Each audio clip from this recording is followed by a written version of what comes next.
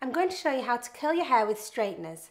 The reason we're using straighteners is because they do get hotter than regular curling tongs, which makes the process a lot quicker.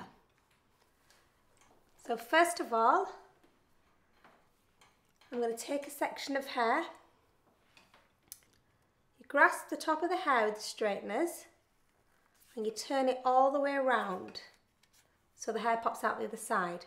Then you just slide it down to the end and then roll it back up on itself like so and then you let go. Okay, so I'll show you that again. Then at the top, turn in, slide and roll. Because I'm going for a natural curl, I'm not going to section off my hair. I want it to look a lot softer, so I'm just picking up random parts of the hair. I have used a heat protection spray on my hair first as well, just to save your hair, especially if you're doing this often. At the Cooperative Electrical website, there's a whole range of hair and beauty products for perfect styling.